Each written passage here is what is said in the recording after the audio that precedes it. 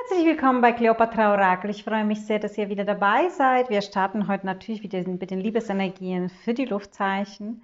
Und ähm, ich bin schon sehr gespannt, was ich hier zeigen mag. Ja? Ähm, wir befinden uns gerade in etwas schwierigeren Energien für das irdische Leben. Ja? Die sind äh, für die geistige Welt ähm, nicht schwierig, die gehören dazu. Aber für das irdische, für das duale Leben hier wird es schwierig. Denn äh, wir befinden uns in einer äh, großen, großen ähm, Loslass-Transformation. Ähm, und dieser Prozess erfordert natürlich etwas, was wir in den letzten vielleicht Jahren, Jahrzehnten so ein bisschen verlernt haben, im Vertrauen sich auf die Gotteswege und Gottes Timing, äh, göttlichen Timing zu verlassen. Ja? Ähm, vor allem hier bei uns in den zivilisierten Ländern, wo wir der Meinung sind, wir haben unser Leben im Griff und wir entscheiden darüber, wie es läuft, ähm, ist das Thema Vertrauen in die göttliche Wege so ein bisschen verloren gegangen. Ne? Wir gehen davon aus, wir entscheiden darüber selber und die da oben haben kein Mitspracherecht. Deswegen sagt man ja nicht umsonst erst, wenn es dir schlecht geht, dann äh, gehst du wieder etwas zurück. Ne? Und ich meine, viele von euch, die hier sich in dieses ähm, spirituelle Begehen, ähm, ist der Ursprung dessen, dass es irgendwo einen Knacks gemacht hat und es ging euch meistens sehr, sehr schlecht und deswegen habt ihr den Weg zur Spiritualität gesucht. Um die Ereignisse zu verstehen, das ist häufig mit einem Todesfall ähm, irgendwie in Verbindung, das ist ähm, häufig mit einen Depressionen zu tun, das hat häufig mit langen Krankheiten zu tun oder mit sehr, sehr schwierigen Liebesbeziehungen zu tun, ja, narzisstischen Beziehungen und und und. Also wie auch immer die Wege ähm, sich ja ähm, gedreht haben bei dir, so oder so bist du nicht über Reichtum und Glückseligkeit äh, zu, zu Spiritualität gefunden. Die Fälle gibt es mit Sicherheit auch, aber nicht nur. Meistens finden wir es erst dann, wenn wir uns im Inneren leer fühlen, wo irgendwo was fehlt. Ne? Genau. Und diese Loslassenergien ähm, befördern uns wiederum, einen Schritt in die Zukunft zu wagen, ohne ohne zu wissen, was auf uns wartet. Und irgendwie so diese Bedienungsanleitung fehlt. Und für dich jetzt Luftzeichen, mein lieber Luftzeichen, kann das ähm, eine Schwierigkeit bereiten, weil äh, du natürlich verstandesorientiert ähm, bist und der Verstand, dem wir natürlich für alles sehr, sehr dankbar sind, sind natürlich ähm, äh, Organe, die ähm, unter anderem die Aufgabe haben, dich zu warnen. Ja? Das heißt, er, hat, er ist mit dir aufgewachsen, er hat mit dir die Erfahrungen gemacht, die du gemacht hast. Und er hat daraus irgendwie eine Risikopotenzialanalyse gemacht und weiß jetzt, wenn sich irgendwelche Situationen aufeinander treten, dann droht Gefahr. Und dann warnt er dich. Ja, so.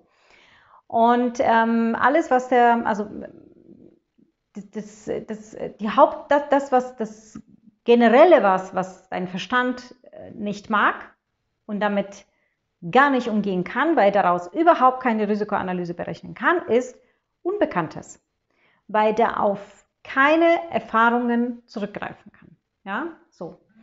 Und dieses Verhalten, diese Schritte nach vorne kannst du nur machen, wenn du ein bestimmtes Vertrauen in dir hast. Vertrauen an die geistige Welt, Vertrauen an was auch immer, wie du das für dich benennst, Universum, Engel, was auch immer, ja. Da gibt es etwas, was dir verhilft, diese Schritte zu machen ins Dunkle, im Vertrauen, dass dir nichts passiert. So. Ich gehe davon aus, du bist nicht nur Luftzeichen, ja, du bestehst auch noch aus ganz, ganz vielen anderen Sternzeichen integriert in dir. Ähm, wenn du dir deinen Geburtschart genauer ähm, anschauen würdest. Ähm, und ich meine hier nicht nur die Aszendenten und Mond und Venus, sondern auch ganz viele andere Planeten. Ne? Wir haben, ich weiß es nicht, wie viel insgesamt, bis zu zwölf oder so, ne?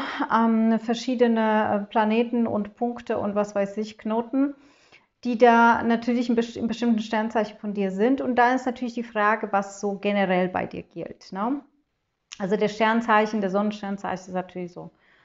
Äh, ja, so schon für das Erdische gedacht, natürlich, aber der macht dich nicht unbedingt aus. Ne? Ähm, ich kenne Personen, die äh, im Feuer geboren sind und agieren wie in Erde und also es, ne, es gibt ganz unterschiedliches. Und wenn du jetzt natürlich ein, ein Luftzeichen bist in den wichtigsten, also Mond, Aszendent, äh, Sonne, und dann generell aber noch viel Erde dir hast, dann wirst du dir natürlich mit diesen aktuellen Energien etwas schwer tun. Ja? Weil das, ähm, da wird dein, ähm, dein Verstand sich wehren, dann wird dein sicherheitsbedingtes Verhalten äh, sich wehren. Da wird alles äh, streiken und sich auftun, um, äh, damit du ja diesen Schritt nicht wagst. Ja? Also wenn du diese generellen Streik in dir merkst, dann kannst du davon ausgehen, dass genau diese Elemente dir verbieten, quasi diesen äh, Sprung ins Ungewisse zu machen. Ja? Aber vielleicht auch, wenn du weißt, dass genau das dir im Weg steht, vielleicht wird es dir einfacher, dann trotzdem den Schritt zu machen, denn du verstehst ja, was dich denn zurückhält. Ja? Und ähm, das ist das Einzige, was dir helfen kann, als einfach nur an die göttliche Wege und an göttliches Timing zu glauben und zu vertrauen, dass es genau das Richtige ist. Das heißt, wir werden jetzt alle so ein bisschen zu kämpfen haben zwischen den Loslassenergien und den Schritt nach vorne zu wagen und im generellen Auslegung des Menschlichen äh, in der Komfortzone verbleiben zu wollen und ja nichts riskieren. Okay? So, also das ist jetzt so generell. Ähm, ich werde jetzt mich natürlich auf die Liebesenergien konzentrieren und ähm, für die Neuen herzlich willkommen. Wenn ihr nicht schon abgehauen seid und ihr noch dabei seid, dann äh, nur noch kurze Info. Ich channele immer erstmal eine Botschaft ähm, für, die, ähm, für die Elemente und dann gehe ich erstmal in die Kartenlegung und ich deute die Karten intuitiv ähm, äh, angepasst, also was heißt angelehnt an diese Vision, die ich bekomme, an diese gechannelte Botschaft, die ich bekomme. Und erst dann, ähm, genau, und ich deute sie nicht buchreif, sondern so wie, ähm, so wie es gerade kommt. Mm, ich würde, ähm, würde vorschlagen, lass dich einfach darauf ein und wenn es dir gefällt, dann bleib dabei. Wenn du sagst, nee, wir resonieren gar nicht, dann geh und such dir jemanden, der besser zu dir passt. Das ist vollkommen in Ordnung. Genau.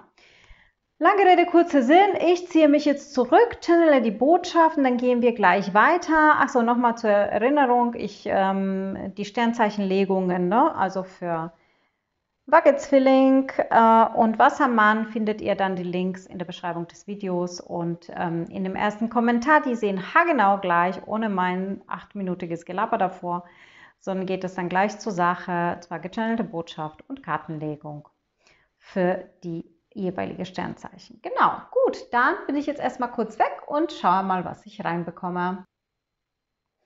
Wunderbar, lieber, ähm, lieber Luftzeichen. Das ist das, was ich ja schon seit drei, vier Wochen, glaube ich, erzähle, dass ich wahnsinnig über deine Entwicklung, äh, von, über dein, ja, äh, dass deine Entwicklung begeistert mich. Ja, die ist die ist großartig, die ist, ähm, ich, also es war so eine Zeit, wo wirklich so die, die Feuer- und die Wasserzeichen, die haben sich recht gut anfänglich gemacht. Ähm, dann war so eine Zeit, wo die Wasserzeichen nachgelassen haben. Jetzt haben sie sich wieder stabilisiert. Jetzt, ähm, jetzt haben, machen sich die Feuerzeichen ein bisschen schwer mit den aktuellen Energien. Aber generell Du warst für mich mit den Erdzeichen immer gleichgestellt, mehr oder weniger, ja. Also mit ähnlichen Schwierigkeiten hattest du zu tun. Und du hast jetzt ähm, wirklich so losgelegt, also unfassbar. Also pass auf, das, was ich wahrgenommen habe, ich habe dich auf eine Wiese, äh, auf eine Wiese stehen gesehen, wie du ähm, irgend so ein sehr langen Stoff gehalten hast, oder war das ein Schall, was auch immer, ja, einen sehr leichten sommerlichen Stoff, der sehr lang war, wie so eine Fahne, hast du im Wind gehalten, ja. Und du hast dich so richtig reingespürt in diese, in diese Luft, in diese Windenergie, in dieses, du warst einfach eins. Das heißt, du machst dir deine Energie zu deinem Unterstützer, ja, das, was ich gerade gesagt habe, dein Verstand könnte dich warnen. Und weißt du, was du daraus gemacht hast? Du warst wie ein, ähm, wie beim Drachensteigen lassen. Du hast diesen Wind genutzt, um sich in die Luft zu bewegen, um nach vorne zu fliegen. Ja? Du hast dein Element für dich genutzt. Das, was dir eigentlich im Weg stehen könnte, nutzt du für dich, für dein Vorankommen. Unfassbar toll. Bin total begeistert gerade. Ja? Okay, dann möchte ich jetzt gerne sehen. So, was haben wir denn da? Asche. Okay. Ähm, ich möchte gerne sehen mit diesen Karten, welche Energien werden herausfordernd sein in der Liebe, in der laufenden Woche für die Luftzeichen. Nein.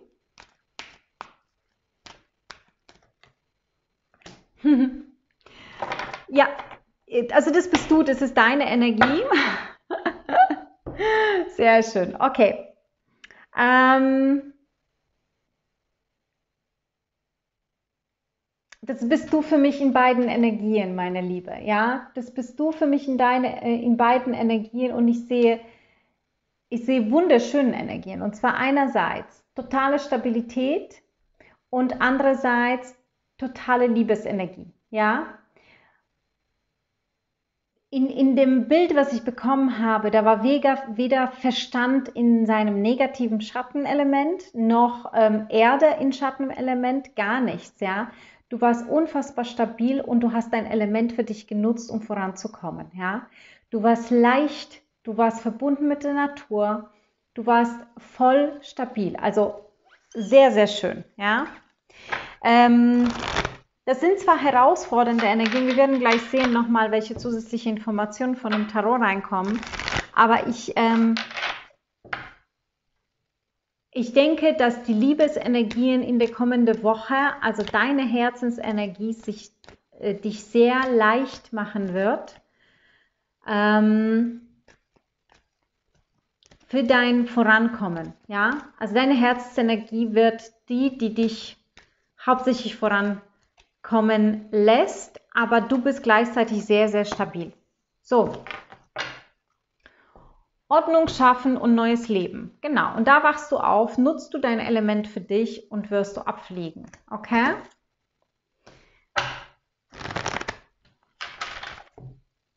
Dieses Ordnung schaffen, das bezieht sich für mich auf diese Energie hier. Ja? Da ist noch in der Partnerschaft irgendwas, was noch nicht ganz in Ordnung ist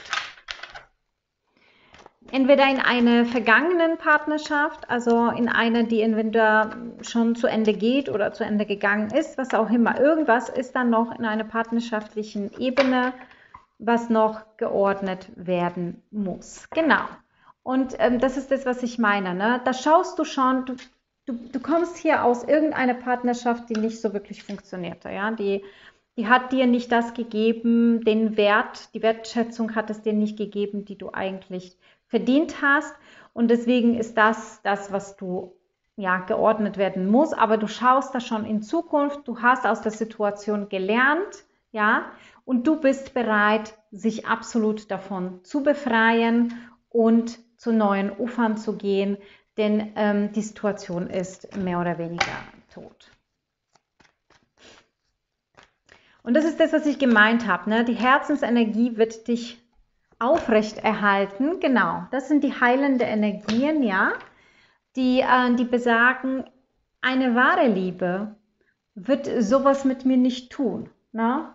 Eine wahre Liebe wird, ist heilend, eine wahre Liebe ist etwas, wofür man sich leicht entscheidet, wo man nicht ähm, damit hadern muss. Ja, das ist etwas, was, ähm, was sich gut anfühlt und niemanden, für niemanden verletzend ist. Ja, deswegen, deswegen ähm, wird diese Herzensenergie die sein, die dir am meisten verhelfen wird, den Schritt nach vorne zu wagen. Also das ist das, was ich meine. Nicht das Erdische, was dich vielleicht traurig machen würde, Enttäuschung, was weiß ich, ja, sondern diese Liebesenergie, die dich fliegen lässt. Ja? Ordnung schaffen, genau. Einfach mal wieder aufräumen im Leben, was zu mir nicht gehört, darf gehen. Ich muss wieder mir meinen eigenen Bereich aufbauen, mein Welt aufbauen, ja, ähm, und einfach transformiert neu starten, ja. Ja, neues Leben. Neues Leben in Liebe, leicht, befreit von jeglicher Art Ballast und du warst extrem leicht. Du warst wie, wie, ja, wie beim Drachen steigen lassen. Ja? Also es war echt, echt wundervoll, ja. Weil du in deine Liebesenergie wiedergefunden hast, okay?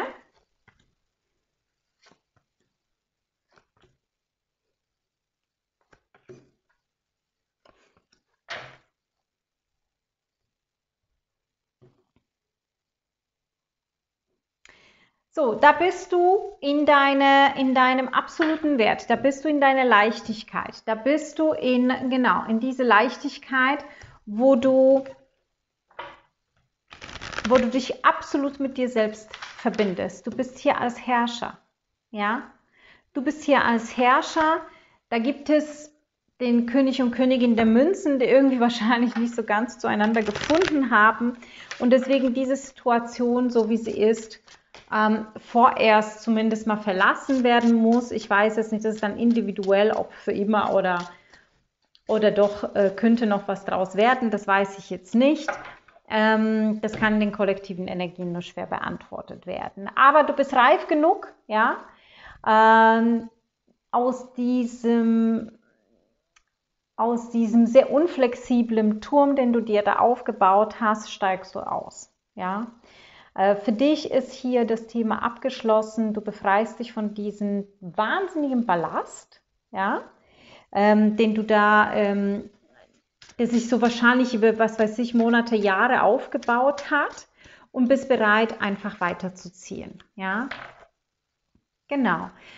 Ob das da eine Dreierkonstellation gegeben hat oder ob ähm, einfach sonstige Verletzungen ähm, geschehen sind, Enttäuschungen, whatever, ja, ähm, das darf jetzt gehen und du bist bereit, einfach die Luft für sich zu nutzen, sich zu erheben über die Berge. Die Berge sind Milenomo ja immer die ähm, Hindernisse, ja, über die Hindernisse hinaus. Ähm, das sieht so ein bisschen wie, wie dieser Schall, den du da ähm, flattern lassen hast in der Luft.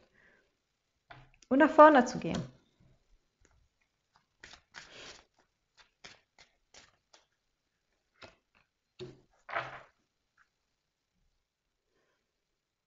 Unfassbar starke Karten. Und das ist das, was ich gemeint habe. Du, du, du gehst jetzt hier in die sehr, sehr starke Stabilität, die du dir aufbaust. Du bist der Herrscher deines eigenen Bereichs, deine, deines eigenen Leben, deines eigenen Lebens, ja. Du bist zu Herr, also du bist hier Herr, also du bist hier Herrscherin. Das ist für mich Lenormand die Herrscherinnenkraft, ja, die die Fühle in sich trägt, ja, die das Gefühl, die dieses diese Yin-Energie gepaart mit Fülle ähm, in sich trägt. Ja, gleichzeitig bist du hier, trittst du hier noch als Herrscher auf. Der, der Herrscher ist natürlich die männliche Energie, die ähm, oder andersrum, die Herrscherin, die lässt es fließen, ja, die äh, versucht äh, jetzt hier keinen Rosenkriege zu führen und so weiter. Der Herrscher ist in eine in eine männliche Energie des Doings, ja, des Tuns und der Herrscher räumt hier auf, ja. Also das ist die männliche Energie und ich finde es wunderbar, dass sie hier als Paar auftreten, ja.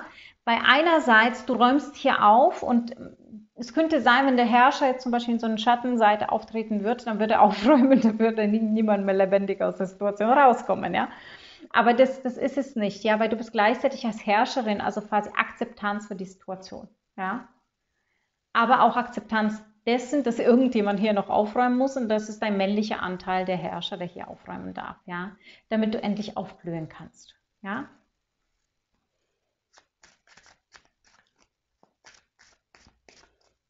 Das ist wie eine Frühlingsputzaktion hier, weißt du?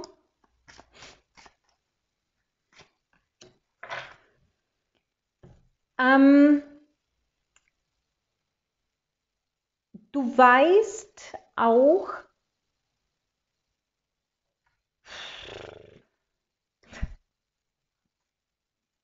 Das ist jetzt lustig, weil du bist total davon überzeugt, dass egal was du hier machst, der wird wieder anklopfen. Du weißt ganz genau, dass die Liebe euch verbindet.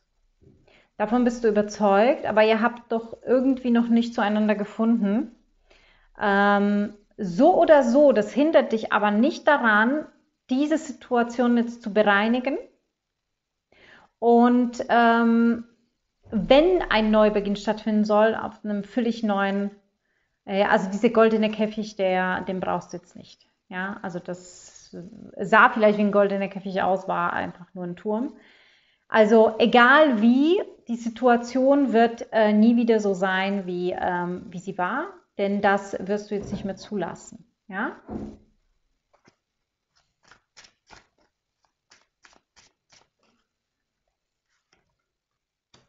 So, die Karte wollte auf.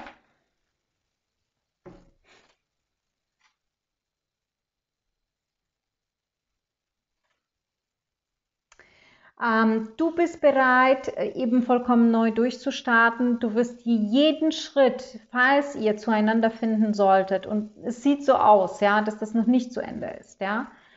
Aber egal wie der Neustart aussehen wird, du wirst jeden Schritt, den ihr aufeinander zugeht, dir ganz genau anschauen, ja.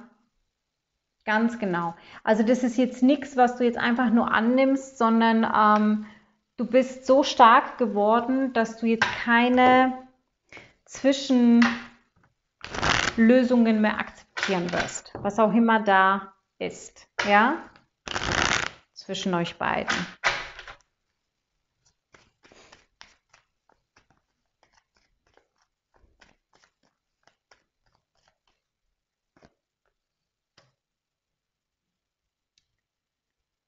So, da haben wir die drei der Münzen und die drei der Münzen, das ist eben, ich habe daraus gelernt. Ich habe daraus gelernt, dass es hier aus dieser Situation keine, kein, kein, kein, kein Ausgang mehr gibt. Also hier gibt es nichts, was ich jetzt noch äh, verbessern könnte.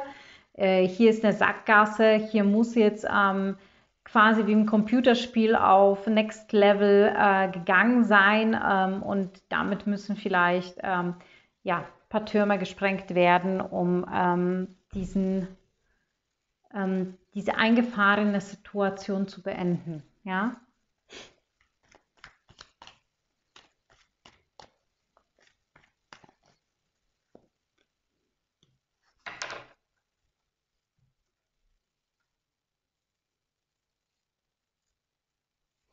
Das ist auch eine wunderbare Energie, eben dieses Vertrauens, ja, dieses Vertrauens in diese Entwicklung. Ähm, du nutzt hier deine Luftenergie äh, für sich über die Hindernisse hinaus zu bewegen, ja, also du gehst, trittst in Bewegung rein und bist davon überzeugt, dass wenn er dich wirklich will, dann wird er dir folgen in den Next Level. Ja? Er schaut ja auch schon hier rein. Ja? Also von dem her ist das schon sehr wohl möglich. Ähm, aber du machst diesen Schritt auch ohne, aber das ist eben dieses Vertrauen, von dem ich vorhin gesprochen habe. Ne? Dieses, ich, ähm, ich vertraue auf diese Situation, ich vertraue auf die göttliche Wege und wenn wir zusammenkommen sollten oder wenn wir zusammen sein sollten oder immer noch bleiben sollen, dann wird er mir folgen. Und wenn nicht, dann ist es halt so, ja. Aber du bist voll im Vertrauen und du gehst einfach den Weg für dich vorerst. Sehr schön. Mit dem Wagen sehr stark unterstützt. Ne? Aber das ist eben diese Loslassprozesse, von denen ich ähm, gesprochen habe. Ne? Genau. Ähm, der Herrscher die 4, hier die 4, hier die 8, also doppelte 8. Hier ist Tempo. Hier ist Tempo angesagt. Tempo in deinem Wachstum, Tempo im ähm, Herrschaftseroberung für dich selbst. Ja? Stabilität erlangen.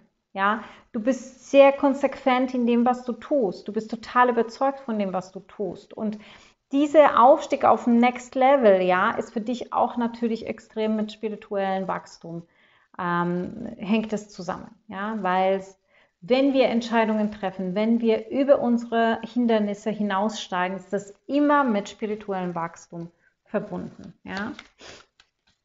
Alles, was wir im Vertrauen tun und nicht aufgrund von Statistiken und äh, bla bla bla, ähm, was dir dein Verstand letztendlich auch ne, vorgaukelt, hier darfst du gehen, hier ist nicht gefährlich und hier ist gefährlich.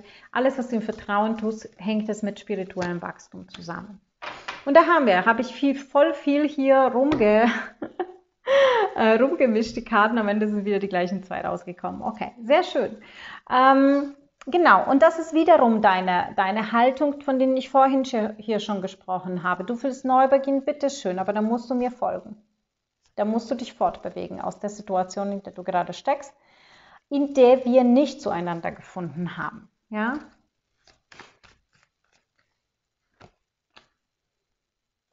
Ja, kein blindes Laufen mehr. Also das ist wirklich eine klare Ansage jetzt auch an dein Gegenüber. Jedes Neubeginn wird hier sehr, sehr klar durchgecheckt, ja, jeder Schritt. Ob das, ähm, ich hoffe, du hörst einfach auf deinen Bauch, aber du wirst sehr, sehr ähm, durchleuchtend sein, ja. Also kein, kein blindes Laufen mehr und das ist wirklich mit erhobenen Schwert hier, also mit deiner Luftenergie, ja, Veränderungen ja, aber keine Blinde mehr. Ne? Super, sehr, sehr schön.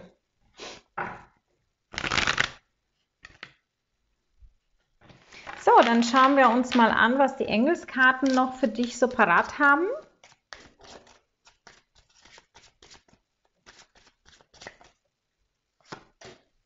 Perfekt Timing. Und schau mal, das fällt gerade auf die Vierer hier, ne? In der nahen Zukunft, was haben wir denn in der nahen Zukunft? Ja, ähm, solltest du auf jeden Fall auch in Action treten. Äh, was auch immer du hier beendest, was auch immer du hier neu beginnst, das ist in eine wunderbare Energie. Du darfst wirklich hier im Vertrauen verbleiben und ähm, darauf vertrauen, dass sich das alles zu deinem Wohl entwickelt. Egal wie, es wird dir gut gehen. Ja, denn du bist in der Monsterenergie, wirklich.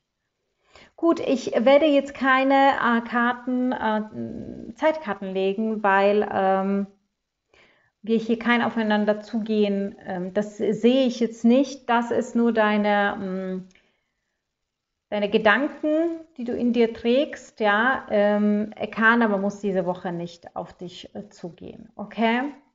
Äh, meine Lieben, ähm, die Sternzeichenlegungen für Wassermann, Zwilling und Waage findet ihr ähm, die Links in der Beschreibung des Videos sowie auch in dem,